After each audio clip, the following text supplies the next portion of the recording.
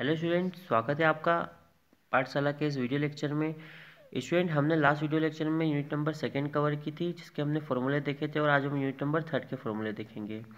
Student, आप full revision भी कर सकते हैं, फिजिक्स का मैंने इसके अंदर पूरे वीडियोस अपलोड कर दिए जो फुल रिविज़न आपको सेवन आवर्स में पूरा हो जाएगा।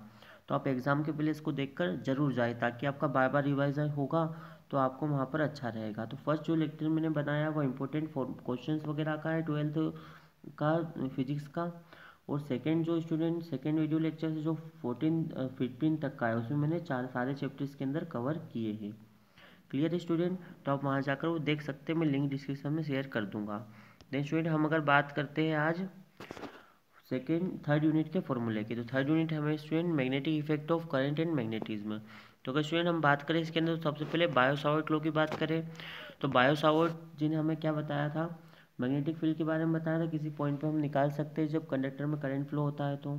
तो स्टूडेंट हम डीबी की अगर बात करें तो वो होता है हमारा mu naught upon four pi वो होता है हमारा student mu naught upon four pi I D L sine theta by R square DB यहाँ पर स्टूडेंट क्या है? हमारा magnetic field due to current carrying conductor और म्यू नोट है permeability of free space student अगर हम बात करें magnetic field due to circular coil circular coil में करंट अगर फ्लो हो रहा है तो उसके कारण कितनी सेंटर पे रहेगी या यहाँ पर लेंथ एक्सिस पे रहेगी? ठीक है स्टूडेंट तो वो थी mu naught N I I A square upon two A square plus X square three by two A क्या यहाँ पर रेडियस है सर्कुलर कोयल की?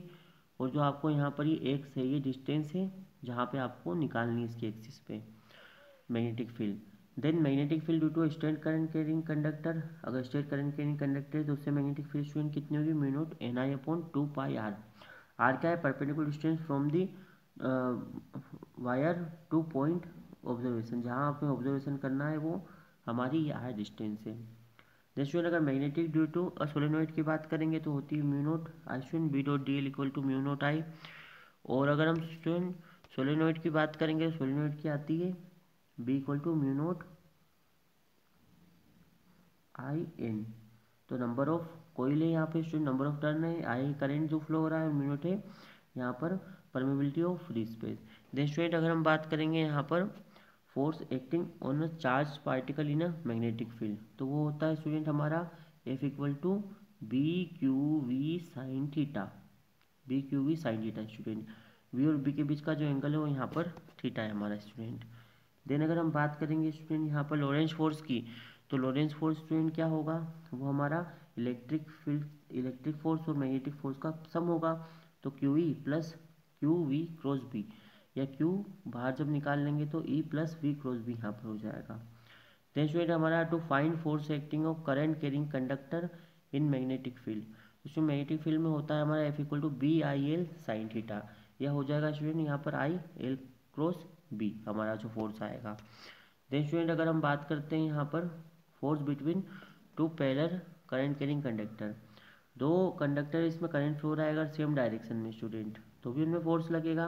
वो अट्रैक्शन का फोर्स अगर डिफरेंट डायरेक्शन में हो रहा है तो क्या होगा, वहाँ पर रिपल्सन का फोर्स लगेगा। स्टूडेंट ये भी इस पर फोर्स अप्लाई करेगा, ये भी इस पर करेगा। तो फोर्स कितना होता है student mu naught I one I two upon two pi R और हम पर यूनिट लेंथ पे निकाल रहे हैं तो एफ़ बाई एल है। एफ़ बाई एल क्या है? फोर्स पर यूनिट लेंथ और आई वन आई टू क्या है? दोनों वायर में जो करंट फ्लो हो रहा है। देन आर क्या है यहाँ पर? दोनों के बीच की जो डिस्टेंस है वायर की। अगर हम बात करें स्टूडेंट टोर का experience by current carrying conductor torque कितना एक्सपीरियंस करेगा जब उसे मैग्नेटिक फ़ील्ड में हम रखेंगे? वो करेगा to equal to B I N A sine theta B magnetic field I current है N A number of turn और ए है उसका एरिया कोइल का। देन अगर हम बात करें student conversion galvanometer into ammeter तो हम क्या करेंगे? कन्वर्जन करते हैं गैल्वेनोमीटर को अमीटर में चेंज करते हैं तो यहाँ पर जो फॉर्मूला हमारा बना है S equal to I G upon I minus I G multiply by G G है गैल्वेनोमीटर रेजिस्टेंस ए से हमारा संट रजिस्टेंस जो हम निकालते हैं। देन अगर हम बात करें आई जी की तो आई जी क्या है? करेंट फ्लोविंग थ्रू गैल्वेनोमीटर जो टोटल करंट फ्लो हो रहा है। ठीक है स्टूडेंट और टोटल हमारा आई करंट फ्लो हो रहा है सर्किट में और आई जी हमारा गैल्वेनोमीटर से जा रहा है। और आई जो होता है वो संट में से बट हमें यहाँ पर आई की ज़रूरत नहीं है, हम एस निकालते हैं। स्टूडेंट हमें बात करनी है गैलोमीटर इंटू वोल्टोमीटर की। तो गैलोमीटर वोल्टोमीटर में अगर कन्वर्ट करना है तो उसके लिए हमारा formula R equal to V upon I G minus capital G तो वही सारे चीज़ें यहाँ पर स्टूडेंट आर क्या है? हाई रेजिस्टेंस इन सीरीज़ में। ठीक है स्टूडेंट देन अगर हम बात करें तो radius of circular path of charge particle moving perpendicular in B B means है यहाँ पर मैग्नेटिक फ़ील्ड की डायरेक्शन तो स्टूडेंट अगर हम बात करें तो आर क्या निकलेगा हमारा?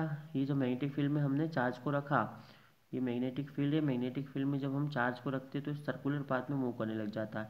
तो उसकी रेडियस ये आर तो ये आर निकाली हमने ए में। मास ऑफ़ इलेक्ट्रॉन वी है यहाँ पर स्टूडेंट हमारी। पोटेंस वेलोसिटी हो जाएगी स्टूडेंट यहाँ पर, ये चार्ज पार्टिकल की।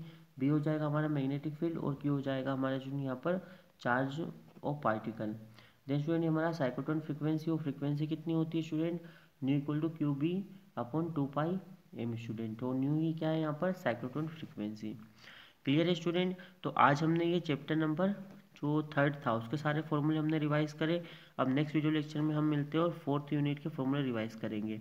तो आप इसे जितना ज़्यादा हो सके शेयर कर दीजिए और अगर कुछ कमेंट डाउट हो तो आप कमेंट बॉक्स में मुझे लिखकर पूछ सकते हैं स्टूडेंट ताकि क्या है, सभी को ज़्यादा से ज़्यादा इसका फ़ायदा मिलेगा। तो आप आपके फ्रेंड्स वगैरह को सभी को शेयर कर दीजिए। धन्यवाद।